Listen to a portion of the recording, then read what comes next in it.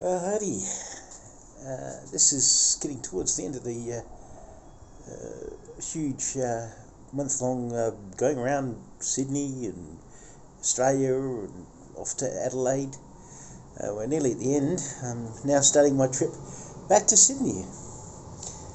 And uh, yeah, it's been Adelaide's been good. had Christmas with mum and dad and Boxing Day with the rest of the family uh, watched a bit of cricket and spent most of my time with mum and dad uh, and uh, had a lot of fun. Uh, feel quite rested today, so that's good. It's a bit of a journey ahead.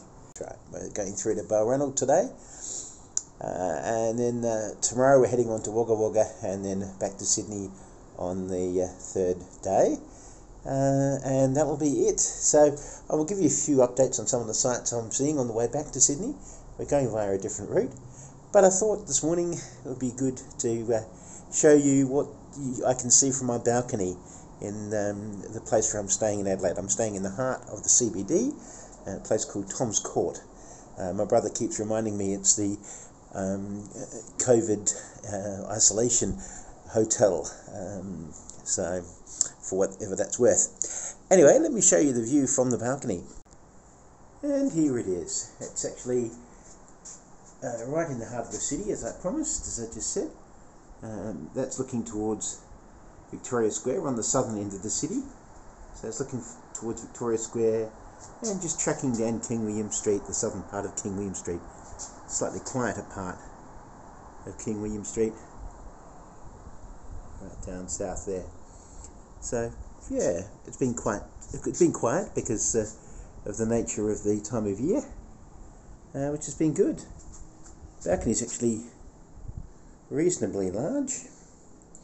So I'm about to have my breakfast and then I'm going to head off. Well, as I've been driving around Australia, you may have noticed, and as I have, how neat and tidy and just wonderful some of the townships are as we stop through.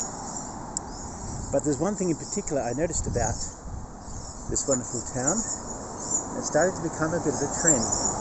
Now, this particular innovation is actually seems to have taken hold in country towns, and it seems to have changed a lot of the economy. And this is one of the reasons I think that a lot of these towns um, have had the finances to actually improve the township. Um, for example, how nice does the bakery look? And so I'm here to show you one of the reasons having done some research, one of the reasons why these townships are actually not doing as badly as they might have otherwise been doing earlier before COVID. In doing my research, I discovered the one thing, one innovation that is causing our town, country towns, or at least helping our country towns to remain above board and in some cases thrive. And that particular innovation is what you see in front of you. This is the first instance in South Australia of something called silo art, where they've taken a plain, ordinary silo and painted it to make it look pretty. Now I imagine initially when they just painted it, they thought, oh yeah, we're just painting it, no big deal. But it's actually become a tourist attraction. It's actually a very good reason to stop. These are professional artists who are doing these things, um, and uh, they look quite spectacular because they always tell us how much we should uh, take our stops regularly. So I'm actually going to use it as an excuse to pull over and have a bit of a look at some of the silo art between here and Sydney. So uh, I'm actually going to show you these as we go along. And it's rather appropriate that this is the first one because it's the first one, I, knew about them, but this is the first one that I really actually grabbed my attention. And it also happens to be a first because, as I said a moment ago, it is the first one in South Australia, built in 2017. A couple of interesting things I discovered about this particular piece of art. This is not just any old images of kids. These are legitimate children in the Coonalpyn area. And uh, as you can see, quite popular with the tourists, with the selfies and so on. This is actually a working silo. So this is fully functional. As I say, it was painted in 2017, but it was built in 1965. And certainly, I think you would have to agree, architecturally, it's definitely an improvement on what was here. That this silo and the mural associated with it is all part of beautifying the various country towns, and in particular, it was uh, there they are. They're the kids that formed part of this uh, mural portrait. And it wasn't just the silo; they actually repainted and did a whole lot of art in the town. And I'll show you a few more of those before we get back on the um, way and uh, I'll show you across various country towns and how this is this particular movement has definitely taken off. Um, and it's uh, also generated and encouraged people to stop here. So that generates more business for this particular community, which isn't that large, but uh, has that uh, silo and other artistic installations to support it. Um, it seems at the moment, from my point of view, that the um, silo art is actually almost like a competition between townships now, and the more spectacular the artwork, the more people are going to stop at your town. So, although the silo art isn't extensively colourful, it's still very creative, and I like the use of local children. But some of the other artworks we're going to see will have lots and lots more colour in them. But you can see how lovely this looks. And as I said, I'm just walking back to my car and I'm just going to go past the public toilets because out in front there is a mosaic uh, which uh, makes what would otherwise be an incredibly unattractive place look much more attractive. Before we get to the mosaic, however, I do want to point out that it's not just artwork. Uh, for example, SA Water has installed drinking fountains to encourage people to stop and fill up at least with drinks, if not with food and other resources. Of course, there's the information booth and the encouragement to connect with locals. And as I said, in front of the toilet block, there is a mural. So, just go and have a look at that. This was all part of a big push, as I said, to beautify the town, even down to the steps of beautifying their rubbish bins, if that was possible. Which it is by the looks of it. So here we have the mural. This is extremely colourful.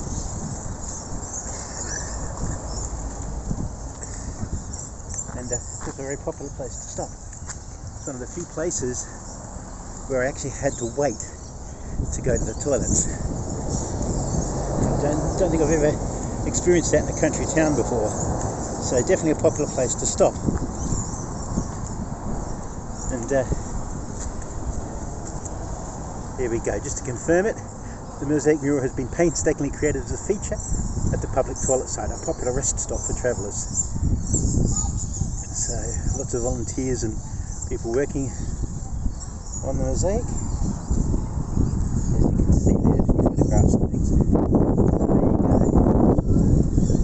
Even a, uh, a code there for you to use if you want to look up information for yourself. I'll see you at the next stop. Today being very optimistic about uh, country towns and this is no exception. How beautiful is this? This is uh, Pinnaroo and uh, got brand new toilet facilities, plenty of them, which is certainly not what you can say for uh, At my previous stop there were not uh, enough toilets and uh, that's why there was a queue. Uh, a funny thing I didn't mention, but the cafe there was uh, also closed, which actually, now I think about it, is rather strange. So I started off very, very optimistic, and uh, to be honest, this is the sort of thing I'm seeing in the country, looking really, really quite spectacular. But unfortunately, maybe it's just covering over the cracks because there in the distance you can see Pinnaroo Bakery, which is one of the reasons I wanted to stop here, closed. And not just closed because it's uh, 2.30, it's closed because it's actually closed. Uh, now, if a bakery can't stay open in a country town, that is a little bit of a concern, particularly since the country town is trying to present itself as being modern and well manicured, which it certainly is, and looking spectacular. Plenty of things to see here. Lovely park. Right in the heart of town, as we are. But uh, this is Christmas, and there really isn't too many people around. I don't know, I just don't know. Anyway, hopefully the next stop will be a bit more impressive. Well, because the bakery was closed, uh, I decided to stop at the OTR Roadhouse. Um, and it occurred to me as I was stopping, the roadhouse is on the main road, whereas the town centre is slightly off and maybe it's the OTR that actually caused the bakery to close. This is the wetlands, uh, as you can see, quite a beautiful place. This is a bit more like a typical country town. Uh, it's not beautified at all, but there is some lovely garden here. Very natural garden down the front here. Uh, just, just, on the side of the road, but they've obviously made it uh, made a bit of an effort to uh, establish some plants here. But of course, the reason I'm stopped here, this is a little township uh, called Walpeup.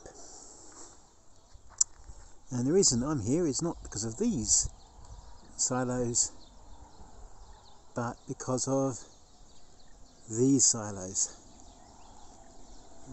Splendid, uh, very, very colourful silos uh, I did mention that uh, some are more colourful than others, and this is an example, as you can tell, of the very distinctive colourings.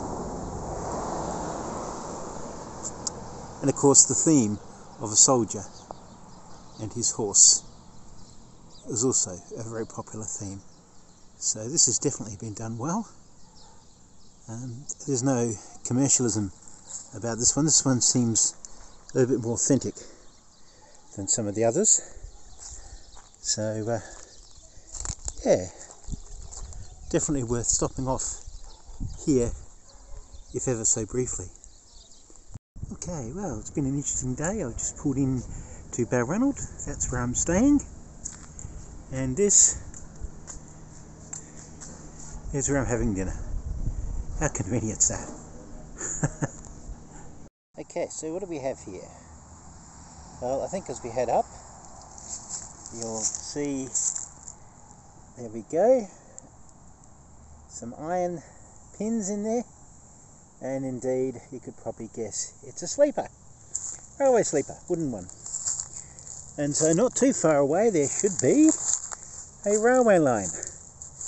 And indeed, if we scan up, you can see the railway bridge. There it is. It's a disused railway bridge. You might wonder how I know. Well, if I zoom in slightly, uh, the bridge takes a huge dip. Clearly, uh, it's a little bit broken.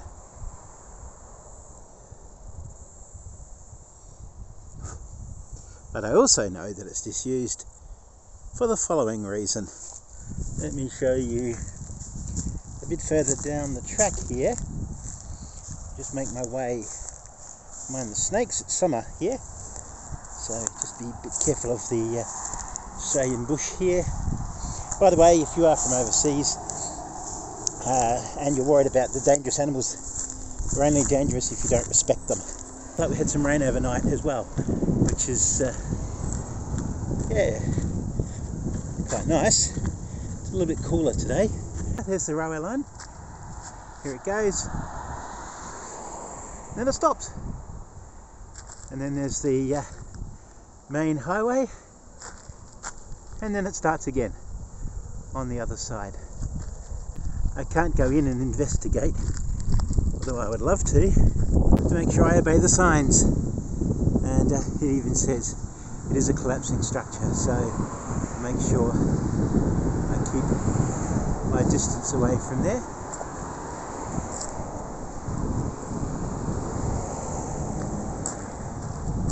Now, I'm not quite sure what that sign Canberra is about. We are a long, long way from Canberra. There's definitely been a few collapses along this bridge. So there we have it. This uh, bridge just outside of Narrandera on the way through to Wagga Wagga and then going on to Sydney. Now I was heading back towards the car and I realised just how beautiful this uh, water is and my walk back to the car. So I thought, oh well, I'll pull the old camera out, give it a bit of a look here.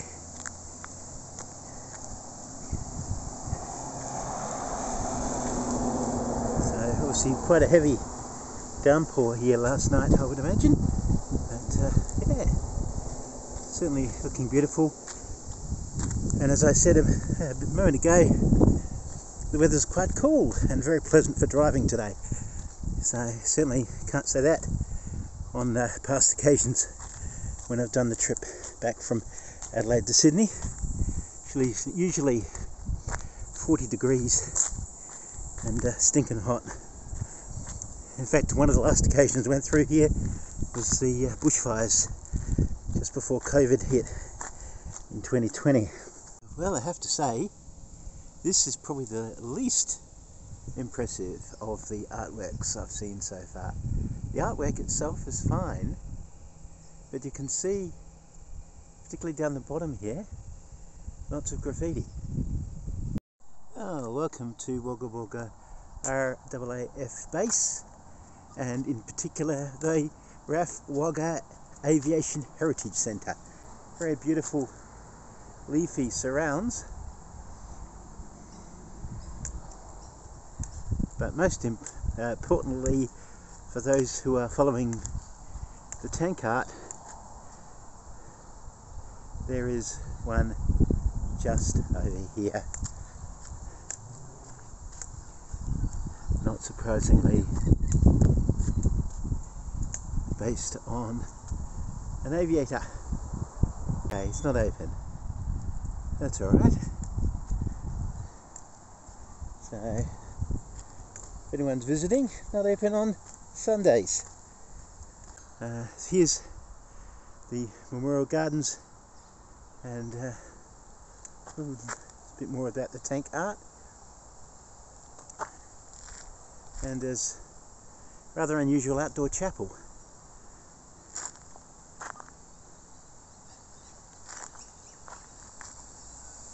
And now I'm going to take you over and show you the various planes.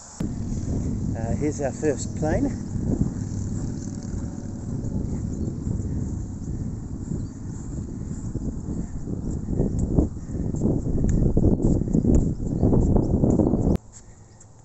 And this is the A3 Mirage.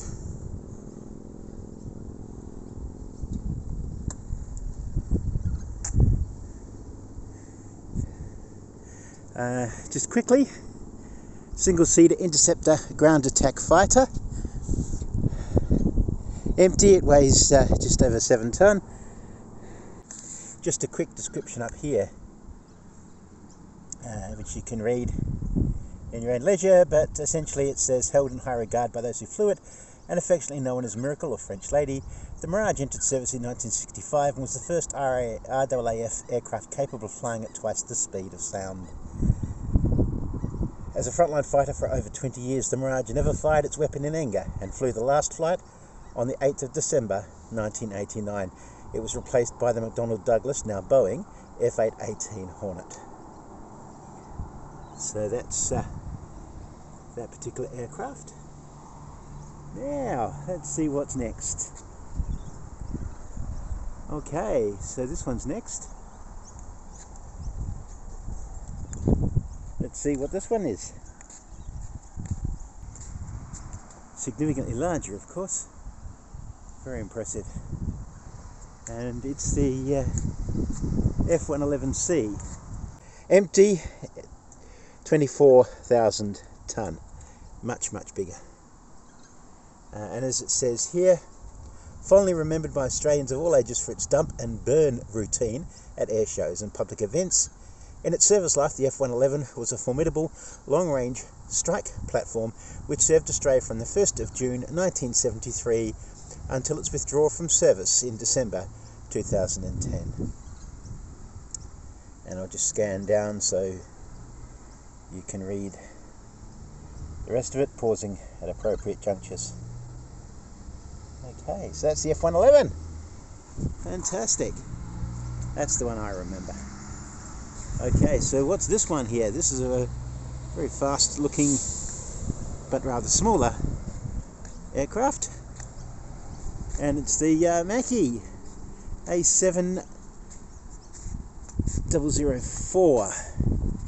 And uh, for this one, 1960s, RAF were looking for a replacement jet trainer for their Vampire and Wind gels in an attempt to establish an all-jet form of pilot training. The Italian Aeromacchi MB362, sorry, 326H, which quickly became known as the Macchi, was selected in August 1965. Uh, it was replaced in 2000, finally replaced in 2000 uh, completely. So again, it's slightly lighter, definitely a lot lighter, uh, just over 2.2 ton uh, empty. Uh, and I'll just scroll down here.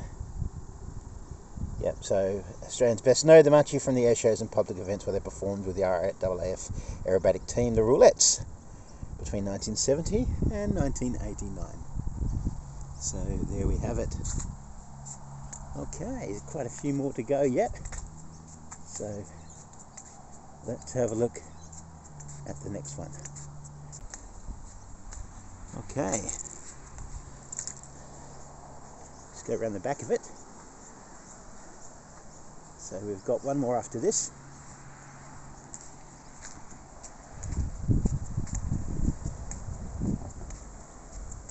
So just going around the back here.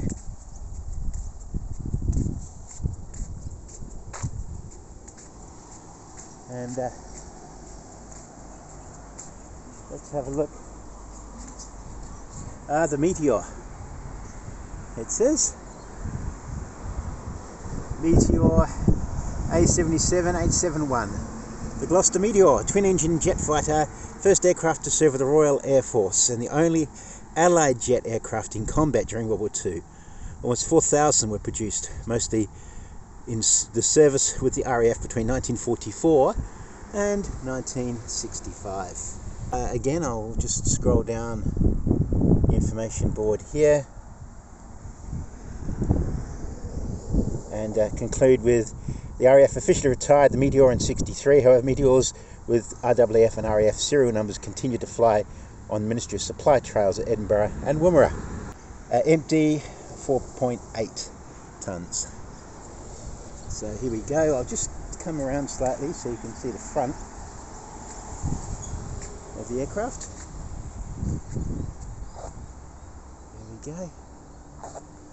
And then we've got our final aircraft over here. So let's have a look at this one because I also want to show you the very historic building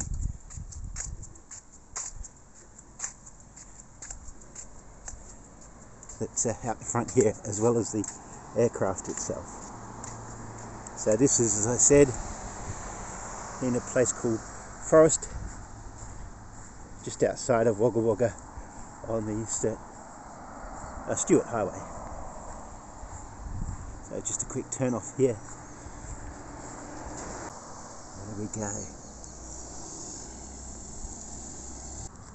Here's our the last of our aircraft.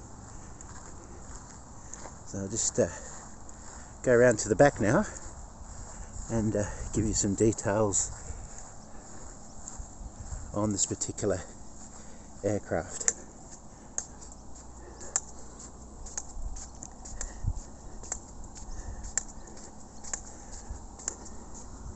So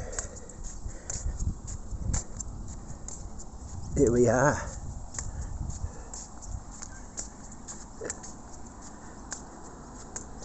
And this is the Canberra. And again, weight empty, 11 and a half ton. JF Canberra was a British first generation jet powered medium tactical bomber developed in the mid to late 1940s as a replacement to the de Havilland Mosquito fast bomber. In 1950, it was named Canberra after National Capital of Australia, was the aircraft's first export customer. So we'll read some more uh, details here. Just scanning down.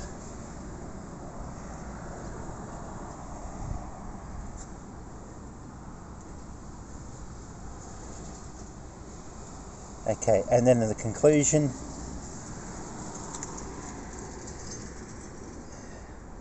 By the time it returned to Australia, Number 2 Squadron was the last RAAF operational Canberra unit, and the A84 235 was retired from service on the 27th of July 1972. That was almost two years old. Not quite. This is the RAF base. I haven't been able to get inside the Heritage Centre because it was closed, but I'm sure inside it's also equally as interesting and definitely worth the visit if you are passing through Wagga Wagga. The main reason I'm here is for this wonderful bit of artwork here. Let me get a bit closer. We could get a better shot if I get a bit. So here we are, Murrumbateman. Lovely art silo, probably the best one I think of in the region. And like I said a moment ago, it's adjacent to a cemetery a genuine bush cemetery just out from Murrumbateman. Probably about 40 odd k's from Canberra and about 15 k's or so from Yass. So I have taken a bit of a detour, but I'm having my lunch here, and uh, to be honest, a very nice, peaceful, quiet area. About 120 k's out of Sydney, and I just pulled over at a driver reviver stop uh, not because I felt like I was that tired, and not because I wanted a coffee, but because in fact I wanted some donuts. How cool is that? I've never seen that before. But there we go, makes sense, though So I'm now going to get some donuts and then get on to Sydney. So here they are, my cup of mini donuts. Boy, they look good. And let me tell you something. I wish you had smell-o-vision because, boy, they smell good too. I'm going to definitely enjoy this.